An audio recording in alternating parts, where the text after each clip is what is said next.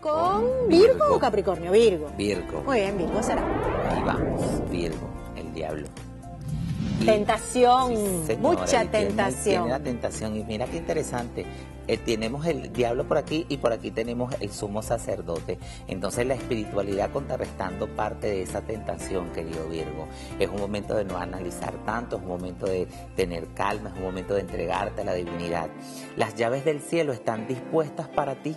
Si vemos el detalle de la carta del sumo sacerdote, están las llaves del cielo. Tú la oración la vas a llevar a Dios y esa va a ser la llave por la cual Dios te va a empezar a dar la respuesta. Se empiezan a arreglar los malos entendidos, se empiezan a arreglar aquellas cosas que no quieres, aquellas cosas que han estado turbias y viene el éxito y la victoria para Virgo. Tu color puede ser el color verde y el color rojo.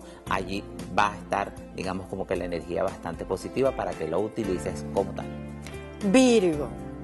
Si en febrero, marzo y abril caes en tentación, le vas a pedir ayuda divina en los últimos meses del año para poder reparar las tentaciones en las que caíste. Esa combinación de cartas que en su conjunto sacó el Caballero de los Astros significa la carta de la tentación, la primera, febrero, marzo y abril, bajo problemas de tentación, cuidado Virgo, en qué tentación caes. La segunda carta que habla de transcurrir el camino, podría decir los meses de mayo, junio y julio, entonces tú vas recorriendo ese camino de la tentación. Pero cuando la carta del sumo sacerdote ilumina los meses de agosto, septiembre y octubre para Virgo, significa que tendrás que pedir ayuda divina para poder sacar las consecuencias de la tentación. Conclusión, Virgo, ahórrate el problema, no caigas en tentación y cuando te toque la ayuda divina la aprovechas para otras cosas. Falta Capricornio. Capricornio. Vamos ahí a ver, perfecto.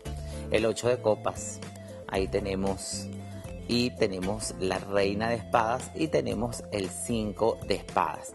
Querido Capricornio, es un momento donde los nodos se movieron, por supuesto, Capricornio y Cáncer.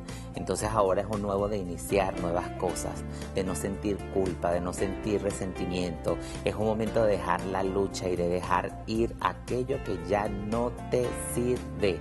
Si caíste en el error, celebra el error. Del error viene el triunfo. Simplemente para celebrarlo, ya, ok, me equivoqué. Pero ahora es el momento de resurgir y de asumir nueva visión una nueva visión para tu vida y hacerte responsable de la vida.